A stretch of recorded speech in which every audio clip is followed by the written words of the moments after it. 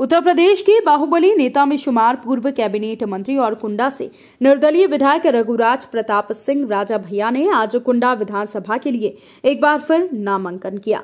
राजा भैया सन उन्नीस सौ तिरानवे से कुंडा विधानसभा में लगातार निर्दलीय विधायक के रूप में रिकॉर्ड मतों से जीतकर इतिहास रचते हैं। इस बार वो निर्दलीय के रूप में नहीं, बल्कि अपनी पार्टी जनसत्ता दल लोकतांत्रिक से अपनी उम्मीदवारी पेश कर रहे हैं। राजा भैया कुंडा से लगातार छह बार निर्दलीय विधायक के रूप में निर्वाचित होते आ रहे हैं। राजा भैया के साथ उनके दोनों बेटे भी उनका नामांकन कराने प्रतापगढ़ पहुँचे। राजा भैया ने मीडिया से मुखातिब होते हुए कहा कि कुंडा और बाबागंज दोनों विधानसभा से जहाँ से जनसत्ता दल चुनाव मैदान में है। कुंडा और बाबागंज ने हमेशा जो कहा, वो किया है। पिछली बार कुंडा की जनता ने कहा था कि एक लाख से पार से जीत होगी। एक लाख चार हज़ार मतों से जीता। इस बार डेढ़ लाख के पार से जनता ने जिताने का मुझे फैसला किया है। इस मौके पर राजा भैया के दोनों बेटे भी नामांकन कराने राजा भैया के साथ पहुँचे।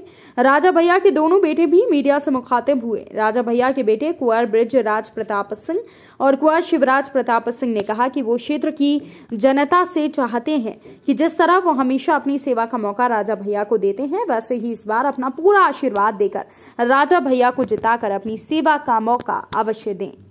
जनता से अपील क्या करना चाह रहे हैं किस तरीके की कैंपेनिंग आप कर रहे हैं अपनी गाड़ी में यार समर्थक की मांग करते हैं समर्थक की मांग करते हैं समर्थन मांग रहे हैं लोगों के बीच पहुँच रहे हैं आप प्रचार कर रहे हैं राजा भैया का क्या कहना चाहते हैं आप जनता से कुंडा की जनता से कि जो प्यार जो स्नेह जो उन्हें पिछले पच्चीस तीस साल से दे रहे हैं उसे ऐसे ही बरकरार रखें और हम भी अपना प्यार उनके प्रति बरकरार रखेंगे थैंक यू थैंक यू हमें बहुत खुश, खुशी महसूस हो रही है कि जनसत्ता दल इस बार चुनाव लड़ रही है और सबसे बहुत देख के बहुत पॉजिटिव आंसर मिल रहा है।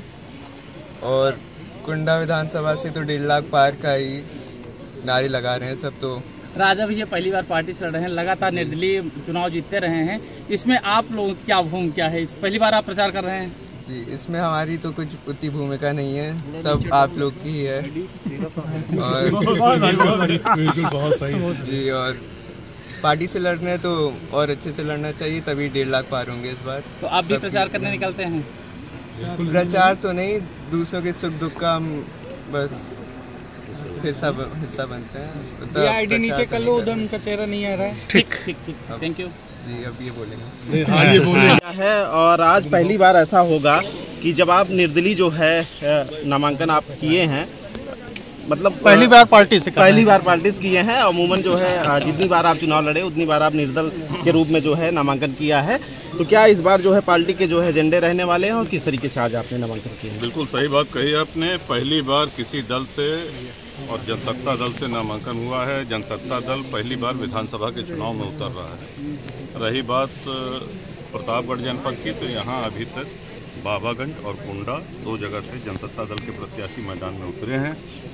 और जनता ने अपना मन बना रखा है कि हर बार का रिकॉर्ड तोड़ करके और बड़ा रिकॉर्ड और बड़ा बड़ा कीर्तिमान इस बार बनाएगी जीत का अंतर कितना होगा? हर बार तो रिकॉर्ड बनाते हैं अपनी कितने क्या विचार है? देखिए हम तो प्रत्याशी हैं। जीत का अंतर और रिकॉर्ड बनाना ये कुंडा और बाबागंज की सम्मानित जनता का काम कुछ तो मन में होगा और कुंडा की जनता जो कहती है वो करती है। पिछली बार का नारा था आपकी बार एक लाख पार। ये करके दिखा दिया एक लाख चार हज़ार। सर आ... इस बार नारा है अब की बार डेढ़ लाख पार। तो इस बार की और कुंडा एक ऐसी विधानसभा है जो लगातार छह बार से अपना मार्जिन स्वयं तोड़ रही है। नए रिकॉर्ड कायम कर रही है जीत का अंतर सर्वाधिक है। तो ये प्रदेश में एक अजूबा है। अ, सर आपने जनसत्ता दल का भी गठन किया है। अ, दु- जनसत्ता दल का भी नहीं का ही गठन हाँ किया है। का ही गठन किया है। तो क्या क्या एजेंडे रहने वाले कितने सीटों पे जनसत्ता दल जो है उत्तर प्रदेश में चुनाव थोड़ा समय कम पड़ जाएगा। पूरा घोषणा पत्र एक एक बिंदु अगर बताने लगेंगे तो दर्शकों के पास और आपके पास इतना समय नहीं है। लेकिन जनसेवा संकल्प पत्र हमारा है जिसमें सभी बिंदुओं को कवर किया गया है। उसकी एक एक फ़ोटो कॉपी हम आज ही से कल भर में आपको सब कुछ उपलब्ध करा देंगे। आखिरी सवाल ये कि हिस्ट्री सीटर लड़ा रही है ये बात करते हैं हमेशा कानून व्यवस्था अच्छी होगी ये होगा ये क्या है? राजनीति में ये कैसे बात क्या दोहरा मापदंड अखिलेश यादव का? हम ये कहेंगे चुनाव है और चुनाव में हर दल प्रत्याशी उतारते हैं।